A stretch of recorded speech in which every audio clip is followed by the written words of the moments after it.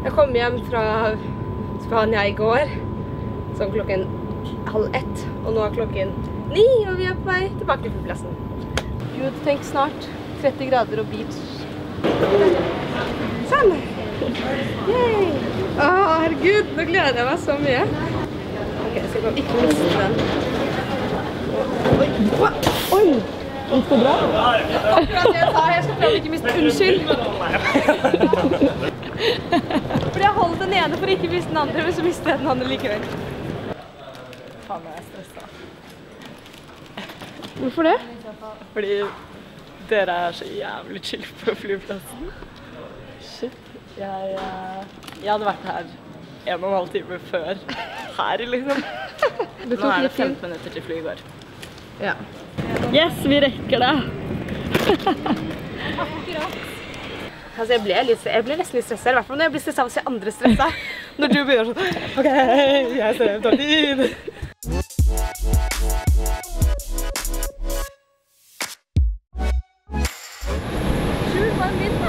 Ja, det var deilig.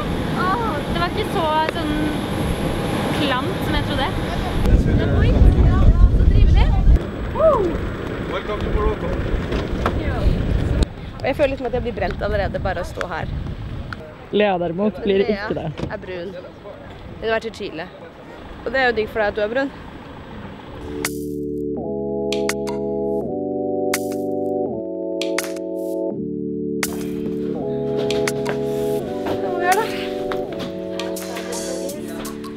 Vi lage. Åh, jeg lov lov å bare kle seg med en gang, eller? Uh. Lukk øynene, kanskje. Det her er så lettest. Vi er på leirskole.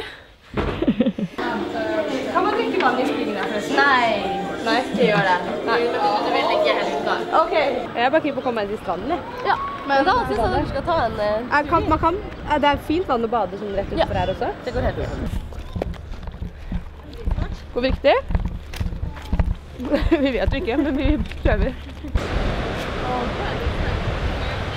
Idyllisk med fries. Fy fader, det her er bra. Jeg tror vi egentlig har noe dritt på linsen. Har vi noe dritt på linsen? Ja, det har vi. Litt for friesene, kanskje.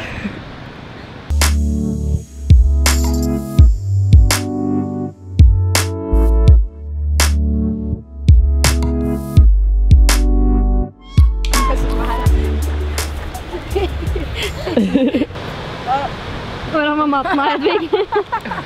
Har du spist opp allerede? Ja. Det har jeg. Jeg hater når folk sier det. Ja, faen! Jeg har spist og gøy. Faen, det er jævlig at du tar den med deg, sitter så sykt godt at du er så brun. Nei, men du ser faktisk ikke så ille. Og det er sjukt fint her! Oh my god! Og vi lander, ja, vi lander med flyet i Agadir. Sorry, men det er en hest på stranda. Hva er det vi har gjort her egentlig? Oi, nå kommer det en kamel. Tagasot, Tagasot, Tagasot, Tagasot, Tagasot, Tagasot. Vi har akkurat kommet til Tagasot, og det er så sinnssykt fint her. Vi har ikke fått sett så mye enda, men vi har fått høre at det er én gate, eh, hvor på en måte, det er, det er bare én gate, Tagasot, byen liksom. Og så er stranden her, og ja, og jeg må si at det er så deilig å bare komme til et litt varmt sted. Og liksom at vi skal slappe av og surfe og ikke konkurrere. Vi har følt sånn når vi har filmet over en uke, siden vi har hatt én, noen ganger to, men som regel én vlogg i uken, så er det på en måte så mye man vil få med. Så er det sånn, ok, hvordan skal vi lage denne sånn at den ikke For det er sånn, å hoppe i dager blir litt rart. Så jeg tror det blir ganske gøy å prøve å lage en daily vlogg hvor man på en måte Ok, dette har vi gjort i dag. Sånn blir den, på en måte. Åh, nå vil jeg bare ut i vannet. Go get it, girl. Oi, akkurat rett på hesten.